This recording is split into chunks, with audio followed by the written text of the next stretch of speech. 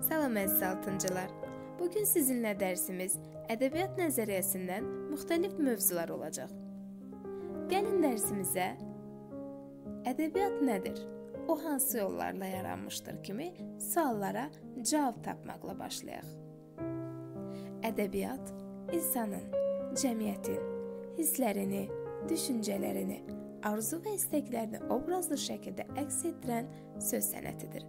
Qısaca desək, ədəbiyyat bədii və ya intellektual dəyəri olduğu hesab olunan sənət forması və ya hər hansı sənət forması kimi istinad edilən yazışıdır. Ədəbiyyat şifahi və yazılı olmaqla iki yolla yaranıb inkişaf edir və bu yolların hər birinin özünə məxsus xüsusiyyətləri var. Gəlin onlara nəzər yetirək. Şifahi ədəbiyyat yazılı ədəbiyyata nisbətən daha qədimdir. Şifahi ədəbiyyatın konkret müəllifi olmur. Yazılı ədəbiyyat isə müəllifli ədəbiyyatdır. Şifahi ədəbiyyatın bəzi nümunələri çox variantlıdır. Yazılı ədəbiyyat isə tək variantlıdır. Şifahi ədəbiyyat yarandığı dövrün dil, üslub xüsusiyyətlərini qoruyub saxlamır. Yazılı ədəbiyyat isə saxlayır. Həm yazılı, həm də şifahi ədəbiyyat 3 ədəbi növə bölünür. Lirik növ, epik növ və dramatik növ. Artıq biz bu növlərdə verilmiş janrlar haqqında məlumatlar əldə etmişik.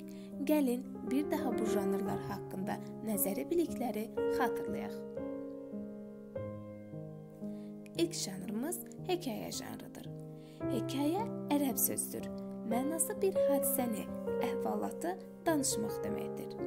Hekayə yığcam kiçik nəsr əsəridir. Belə əsərlərdə insanın həyatının kiçik bir dövrü təhkiyə, nağıl etmə əsasında əks etdirilir. Hekayədə iştirakçıların sayı çox olmur. Təsvir olunan hadisə daha çox baş qəhrəmanla əlaqələndirilir. Gəlin digər janrımıza keçək. Əfsanə janrı. Əfsanə şifahi xalq ədəbiyyatına məxsus bir janrdır. Əfsanə janrında qeyri-adi hadisələrin təsviri öz əksini tapır. Burada insan quşa, heyvana, səma cisimlərinə çevrilir. Dağlar, çaylar, çiçəklər dil açıb danışır. Məzmununa görə müxtəlif növlər var. Kosmogonik, toponomik, etnonomik, zoonomik kimi növlərdən rast gəlinir. Təmsil janrı Təmsil tənqidi satirik mövzularda yazılmış əsərlərə deyilir. Çox vaxt nəzmlə yazılır, lakin nəsrlə yazılmış təmsillərə də rast gəlinir. Təmsil həcmcə yığcam olur, allegorik və nəsihətamiz səciyyə daşıyır. Təmsildə təbiət cisimləri və heyvanlar şəxsləndirilir, insan kimi danışdırılır. Nağıl Şifa xalq ədəbiyyatına aid olan nağıllarda xalqın arzusu, istəyi ifadə olunur. Nağılların çoxunda azad, firavan yaşamağı arzulayan xalq şər qüvvələrə, pisliklərə nifrət edir. Özünə arxa, dayaq saydığı sevimli qəhrəmanını yaradır. Nağıllardakı əhvalat və hadisələrin şirin, aydın, axıcı bir dillə çatdırılır. Məsələn, biri var imiş, biri yox imiş. Gecəni gündüzə qatdı, gündüzü gecəyə. Az getdi, çox getdi, dərə təpə düz getdi. Nağıllar məzmunca müxtəlif olur. Bəziləri heyvanlar haqqındadır.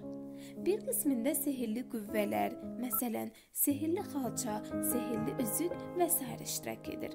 Başqa bir qismində isə insanların gündəlik işindən, əməyindən, məişət qayğılarından danışılır.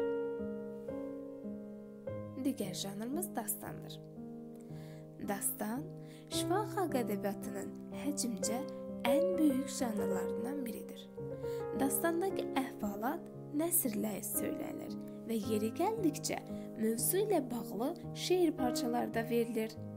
Dastanlarda müəyyən bir dövrdə baş vermiş əhvalat həyati həqiqət kimi söylənir. Dastanlarda bəzən faktlar şişirdilir, mübaliğədən çox geniş istifadə olunur. Burada bəzən əfsanəvi və sehirli qüvvələr də iştirak edir. Və Dastanlar ideya mövzu cəhətdən iki qrupa bölmək olurdu. Qəhrəmanlıq dastanları və məhəbbət dastanları. Qəhrəmanlıq dastanlarından biz Kitab-ı Dədə Qorqud dastanından olan Basatın Təpəgözü öldürdüyü boyu və Koroğlu dastanını öyrənmişdik. Diqqətinizə görə təşəkkür edirəm.